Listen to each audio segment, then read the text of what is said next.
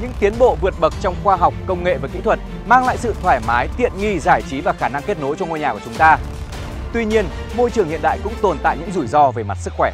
Sự gia tăng nhiều bệnh hô hấp mãn tính trên quy mô toàn cầu, những thay đổi căn bản trong tư duy về nơi ở và không gian sống, nhu cầu sống xanh, đảm bảo các yếu tố cân bằng sức khỏe toàn diện trở nên cấp thiết.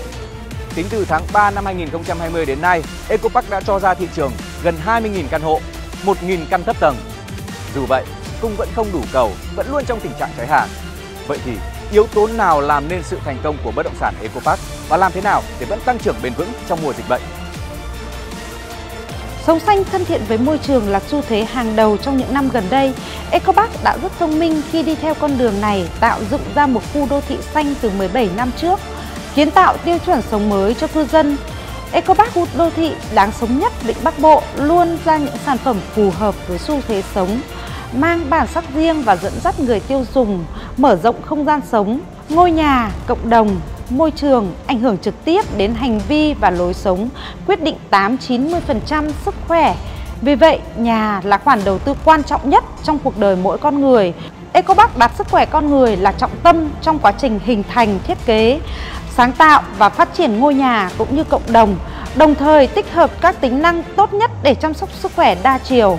Giá trị nội tại bất biến này tạo ra sự tăng trưởng cho Ecopark bất chấp Covid.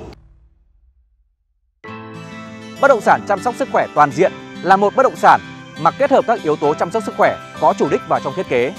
Khu đô thị Eco Park là khu đô thị duy nhất có tới 5 công viên, 2 sân golf, 2 trường đại học, 3 trường phổ thông liên cấp, cung đường đi bộ 5 giác quan dài 9 km, tuyến phố đi bộ dài 7,5 km. Vậy, tuyến phố đi bộ đó có những gì đặc biệt? Chúng ta hãy cùng khám phá nhé! Khi con người sống lâu hơn thì họ cần nhân tố để sống khỏe mạnh và hạnh phúc. Nhiều nghiên cứu chỉ ra rằng đi bộ giúp tăng cường sức khỏe và cải thiện tâm trạng. Tuyến phố đi bộ dài 7,5 km của Ecopark được thiết kế bởi Callison, đơn vị thiết kế hàng đầu thế giới về trung tâm thương mại và thiên đường giải trí. Mở đầu tuyến phố này là khu Sky Oasis được thiết kế theo phong cách và màu sắc sôi động, cùng với công viên ánh sáng rực rỡ ban đêm. Điểm nhấn của tuyến phố này chính là những cây cầu pha lê trên độ cao 200m Du khách có thể thưởng thức ẩm thực trên những cây cầu pha lê, có thể nhìn xuyên qua các khu trung tâm thương mại mái vòm ấn tượng cùng với những cung đường xanh tươi ở trong lòng các cửa hiệu. Tiếp theo sẽ là tuyến phố đi bộ Sun Forest với phong cách thiết kế như các resort. Với các thác nước đổ từ trên cao xuống, len qua các nhà hàng, quán bar, quán cà phê, shop thời trang, cùng các khu vườn thượng uyển trên cao. 400 khu vườn nhiệt đới trên cao như một kỳ quan xanh Tại Heaven Bắc sẽ có tuyến phố mua sắm trong công viên, men theo những con suối, những vườn cây trái chín, những con đường đầy hoa và những hồ nước cùng vườn thư giãn.